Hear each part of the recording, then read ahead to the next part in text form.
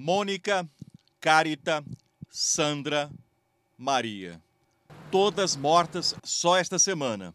As quatro se juntam a outras 16 assassinadas por seus maridos ou companheiros só este ano em Goiás. Todas depois de uma sucessão de ameaças e agressões. Infelizmente houve históricos de agressões anteriores, mas ela não registrou na polícia.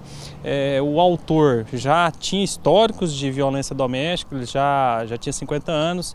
A sua ex-companheira, a qual ele tinha convivido por 19 anos, já havia registrado outras ocorrências envolvendo é, esse autor. Ela parou de comunicar com todas as pessoas, né? Com seus familiares, com seus amigos, é, parou de conversar no WhatsApp, parou de ir na casa da, dos seus parentes, dos seus amigos, né? Ela sempre gostava de postar muitas coisas no Face, parou também de postar no Face, né?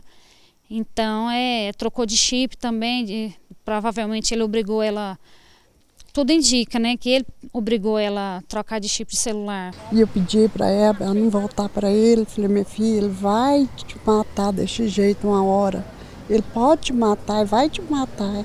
Não, tia, mas eh, eu gosto dele. Falei, meu filho, isso não é amor. Amor, quando a gente ama, a gente não briga. A tia fala de Carita, que teria sido morta pelo companheiro Valdivino Jesus Damas, o homem que chega de bicicleta nessas imagens e sai a pé depois com a mala cheia de roupas para fugir. Sandra Elisa, teria sido assassinada por um namorado com várias passagens na polícia. Ele foi preso num bar depois do crime e de um bom banho. Que ele não fique impune, que ele não possa sair da cadeia e tirar a vida de mais uma. Que ela não seja só mais uma, que ela representa todas as famílias que perderam seus entes queridos, assim como a gente perdeu a nossa menina que só tinha 32 anos de idade. Profissionais que lidam com violência doméstica acreditam que a nossa cultura, o modo como somos criados, supervalorizam o homem e desvalorizam a mulher em quase todos os sentidos, a ponto de o macho achar que é superior à mulher e que pode mandar nela. Daí para a agressão e até a morte, basta um conflito qualquer.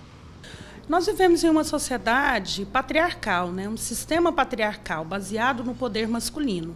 Então, consequentemente, os homens eles se sentem donos das mulheres, né? como se as mulheres fossem suas propriedades. Então, no momento que as mulheres rompem ciclos de violência, né, eles reagem dessa forma violenta, muitas vezes é, tirando a vida dessas mulheres. Desde meados de julho, esta psicóloga é voluntária na Delegacia da Mulher, tentando ajudar as vítimas a lidar com a violência e manter a denúncia contra agressores. E a gente faz esse trabalho para que ela possa resgatar né, esse próprio eu, né, para que elas possam perceber que ela sim é um ser aonde ela é capaz, ela consegue ressignificar, ela pode sim sobressair né, dessa violência e desse agressor. Para quem convive diariamente com a violência de homens contra mulheres, definitivamente esse não é um caso de polícia, pelo menos não só de polícia.